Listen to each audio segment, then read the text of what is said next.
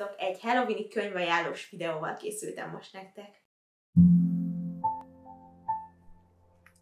Nem a szokványos Halloweeni könyveket fogom most nektek ajánlani, ugyanis úgy gondolom, hogy azokat már ajánlották, ajánlottuk már eleget, úgyhogy olyan könyveket fogok, amiknek kimondottan nem Halloween a témájuk, viszont szerintem tökéletes lehet ennek az ünnepnek a környékén olvasni ezeket a könyveket. Az első ilyen könyv a Hexhol. Ez egy boszorkányos történet, és emiatt gondolom úgy, hogy tökéletes lehet erre az alkalomra. A történet főszereplője Sophie, aki Pár évvel ezelőtt döbbent rá, hogy ő boszorkány, azonban az egyik bűbája a szalagavató bálon balúsül el, és emiatt őt egy nevelőintézetbe, a Hex Hallba küldik, ahol hozzá hasonló különleges tinédzserek vannak igazából felügyelet alatt, és hát itt keveredik mindenféle bonyodalomba. Én nagyon szerettem ezt a történetet. Ezt a történetet leginkább 14 éves kor körül ajánlom, de hogyha valaki egy könnyed olvasmányra vágyik, akkor bárkinek tökéletes lehet.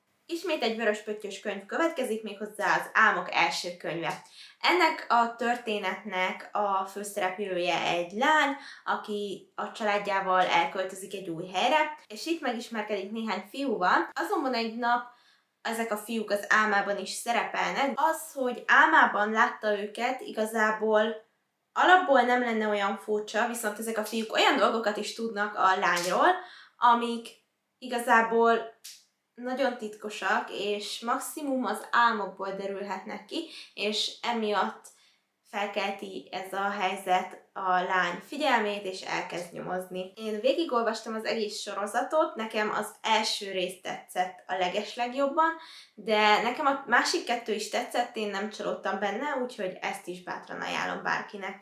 Akik a romantikus történeteket szeretik, azoknak a Mindig és Soha című könyvet ajánlanám. Ez egy Rubin Pöttyös könyv, és itt, hogy most a harmadik könyvnél tartok, eléggé úgy tűnik, hogy könyvmajképző központú lesz ez a videó, amit nem szándékosan terveztem így, de valahogy ezek a könyvek ugrottak most be nekem így a Halloween-nel kapcsolatban ez sem egy tipikus Halloweeni történet, hiszen semmi ezzel kapcsolatos dolog nem történik benne, azonban a főszereplő lányt elrabolják, két hétig fogva tartják, és igazából emiatt gondoltam, hogy akár jó lehet Halloweenkor is ez a történet.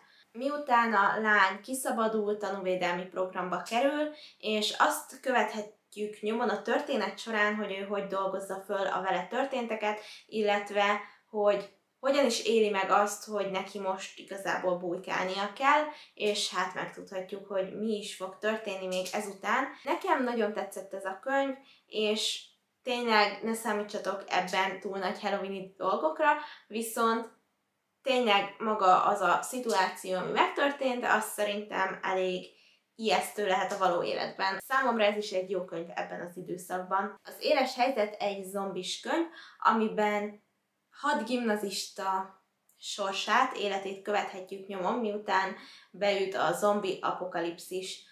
Nagyon érdekes volt számomra, mert a könyv során először még nagyon azon volt a hangsúly, hogy kint mi történik, és bár természetesen ez végig megmaradt, és rettegtek a kinti dolgoktól, de egyre inkább előtérbe került a bent lévő hat diák helyzete, és hogy ők hogyan élik meg ezt a helyzetet, és hogy milyen élethelyzetek alakulnak ki odabent az iskolában, ugyanis ők egy iskolában próbálják átvészelni ezt a dolgot.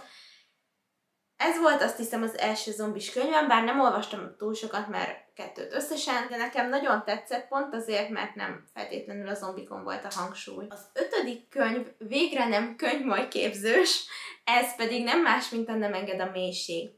Ez egy thriller, és hát én nekem ez a könyv azért kellett, mert az írónak a másik könyv sorozatát én olvastam, ugye a számokat, amikért én oda voltam, és ezt a könyvet egyszer egy molytól kaptam meg ingyen, és hát amikor láttam, hogy ettől az írótól van, felfigyeltem rá, mert nagyon szerettem azt a sorozatot, és aztán amikor megláttam, hogy ingyen van, akkor nekem egyből kellett, de nagyon-nagyon sokáig halogattam, de ez egy olyan rövidke könyv, mindig ott motoszkált bennem a gondolat, hogy el kéne olvasni, de tartottam tőle, hogy csalódás lesz.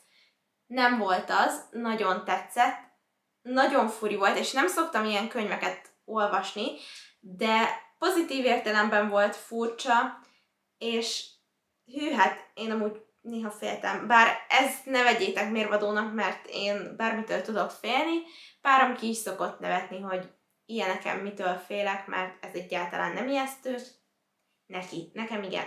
Lényegtelen. A helyzet az, hogy számomra picit ijesztő volt néha, ugyanis a főszerepben egy fiú áll, akinek a testvére meghal, és ez a testvér folyamatosan követi őt a halála után, és mindenhol megjelenik, és igazából a víznek is nagy szerepe van ebben a könyvben, mert a tóban hal meg a fiú testvére, és innentől kezdve ez a fiú elkezd félni a víztől, ami hát nagyon nagy bonyodal, bonyodalmakat tud okozni, akár egy fürdés kapcsán is, és végül szembe kell néznie a félelmeivel.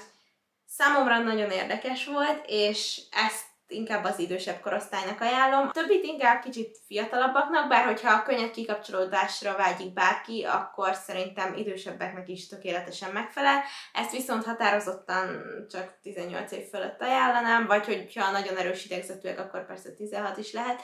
De nekem ez nagyon nagy élmény volt, és e- ez, ez aztán tényleg jó lehet Halloweenkor, borzongató történet következő és egyben utolsó könyv pedig az Ifjú kiválasztotta, ami idén közös könyvünk is volt. Én nekem nagyon pozitív csalódás volt. Ezt a könyvet azért választottam ide, mert nagyon negatív hangvételű végig.